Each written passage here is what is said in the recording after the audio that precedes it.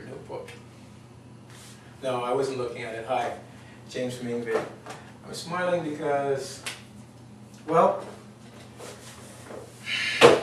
I'm going to teach you something today that I don't think any other teacher would dare do. I'm going to teach you, dun dun dun dun, it's just criminal.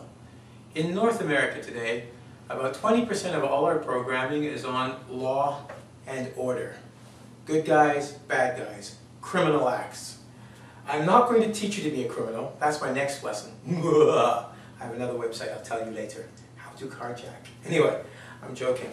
But if you want to enjoy, enjoy our entertainment, you're going to want to know these words.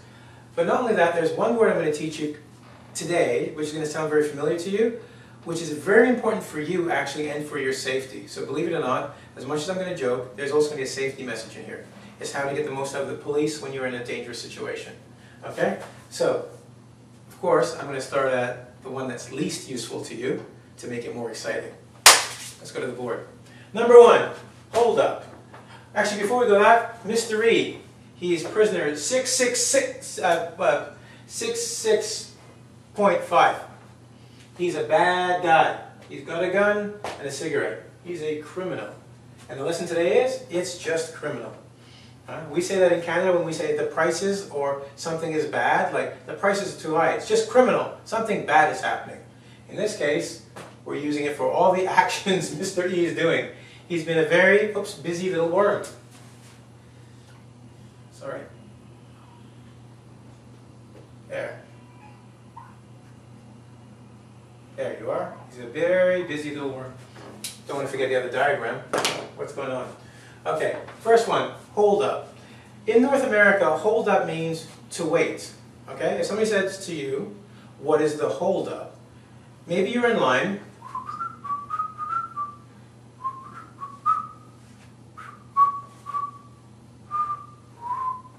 Hey, what's the hold up?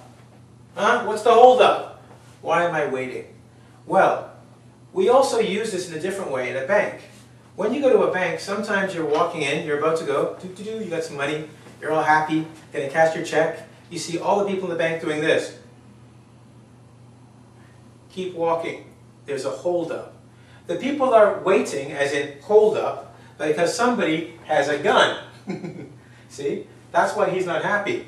They're holding their hands up. See Mr. E's holding his hands above his head? They usually say, Stick your hands up. Hold your hands in the air. Put your hands in the air. Hold them up there. Keep them there. And you wait. So it's two things. Hold up. Hold your hands up in the air. Hold up. You have to wait because somebody is stealing the money from the bank or a store. So if someone tells you there's a hold up going on the store down there, careful. If you don't see a long lineup of people outside the building going, don't go there. It's being robbed. Someone is stealing at that moment. Call the police. Second one, carjack. This is new to North America. It's only about 10 years old. A jack, well, if you play cards, a jack is a face of a card. A jack is used in Canada when people have, at your house, you want to lift up a car, you go, and the car goes up, up, up. You lift the car up. It moves the car. Obviously, this is a car, so you got a car and a jack. A car jack is when a criminal takes your car while you're driving it. Here's a story I heard a long time ago. I'm not too sure if it's somewhere in South America. What they would do is, this is how they would carjack. They would get a giant rat, okay, a big rat. And you know, because it's so hot, people would take the roof down on the car. If The car wouldn't have a roof. It would be, there, sunroof.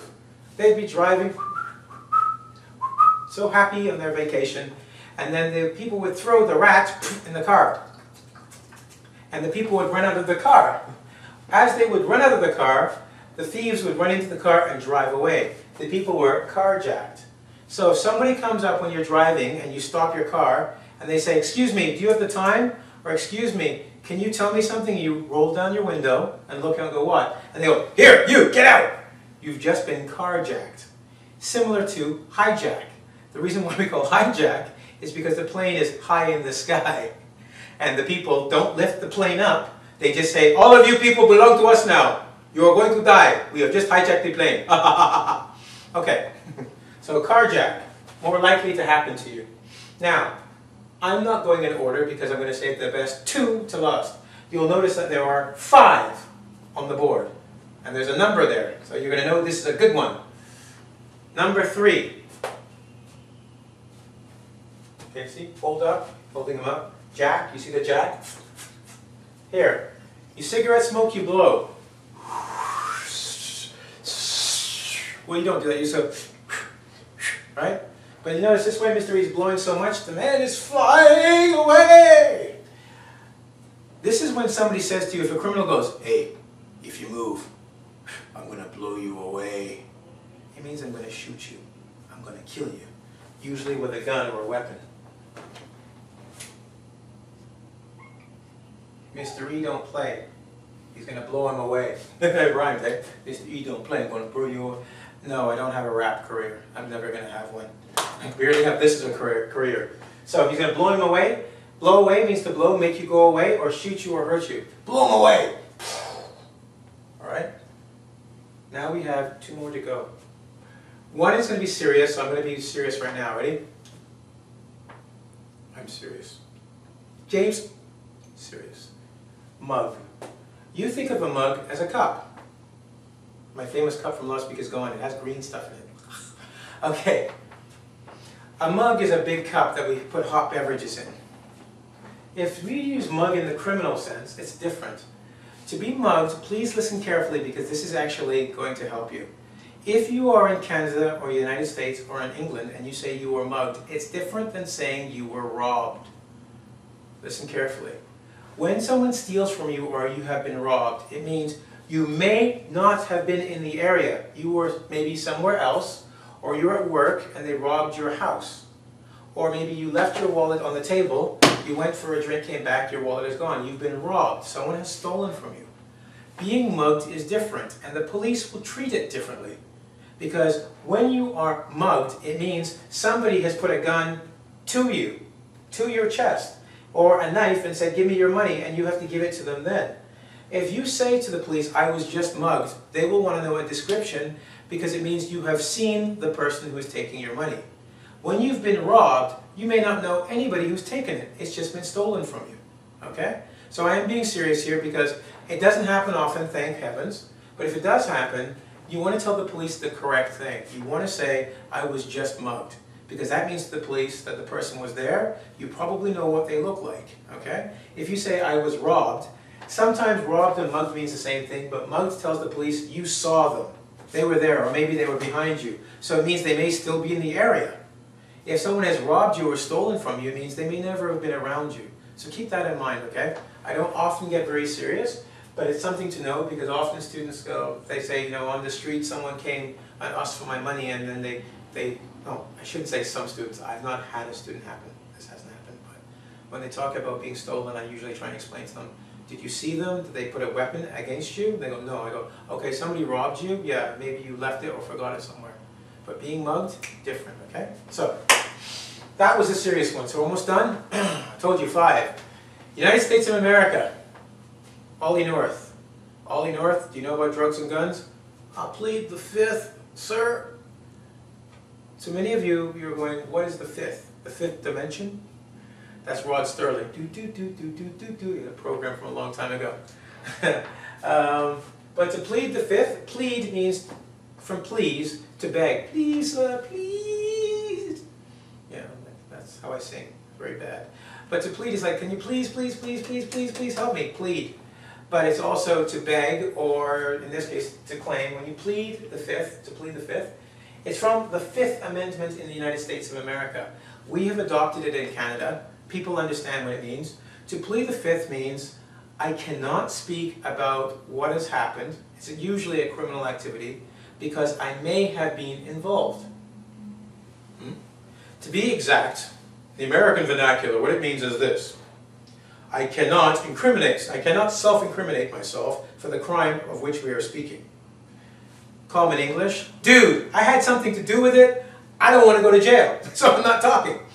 When you plead the fifth, it means I don't want to speak because I know what happened or I was part of what happened. So if I say something, you will send me to jail as well. Now, that's formally, but you can plead the fifth and not be a criminal. You come home late at night, your girlfriend, a guy walks up to you and goes, You smell like a woman. Where have you been? Now you know you've been to a strip club. Na na na na na na na na na na. You know that doesn't make her happy. So you say, because you love her and you don't want to lie to her, okay, you say, baby, I plead the fifth. Here's another one, in case you're a really good person. There are cookies in your house. Your mother has made lots of cookies. You're the only other person in the house. Your mother goes out and comes back, all the cookies are gone. You have cookie crumbs all over your mouth. Crumbs are little pieces. A crumb is a smaller part of a larger part. So you have crumbs all over your mouth of cookies. Your mother goes, Ezekiel, did you eat those cookies? You go, mm, no, no, I plead the fifth. Can I have some milk?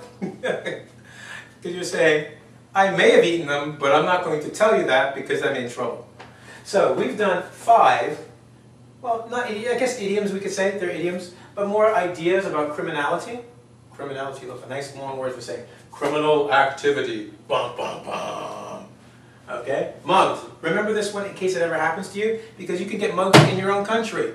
It just means in North America, if someone says, I was mugged this morning, somebody literally came up with a weapon, put it against them, and they said, okay, I'll give you the money, okay, okay, okay, okay. All right? It means personal, personally attacked. You could see or the person was near you. Blow someone away. Shoot them, kill them, blow them away with your gun. Plead the fifth. I'm not talking. Get me a lawyer. I'm not going to jail for this because I know I had something to do with it. Carjacked. You're driving, somebody comes and gets your car from you and takes it from you while you're driving, you've been carjacked. And hold up usually means robbery. Somebody's robbing a, a business, usually a bank, and there's a hold up. Cool? Great. Well, what's really criminal is I've got to go. I'm tired. I've had like an hour's sleep today. Working on lessons for you, the people that I love. Okay? And it's just criminal that I can't stay here longer and give you more of what you deserve. But I know what I can do to help you because I, Nixon, I am not a criminal. I am not a crook. I will help you out and send you someplace where you can learn more. Okay? It will blow you away. In this case, and I'm going to explain this one because I know many of you will say, blow away don't mean to kill. Blow away mean to make you excited and really change your mind. It's like, you're right. By the way, that's another imitation of a guy who had a TV commercial in Canada. It was great. You got me rich, rich beyond your wildest dreams. Look at these girls, they belong to me. I love TV. Anyway, to blow away, a secondary meaning means if something blows you away, it means it's so incredible, it's like, shh, the wind blows you away. It blew my mind, man. Okay, but in criminal talk, it's to kill. I'm going to blow you away by sending you to a place where the learning is free, no criminal activity. Go to www.ing for EnglishVid.com where you can find it's just criminal and other lessons and quizzes to help you improve your English. And I feel like one of those guys on the TV shows. If you see this worm trying to educate you, turn him in. Better yet, tune in. Goodbye. I'm James for engvid.com.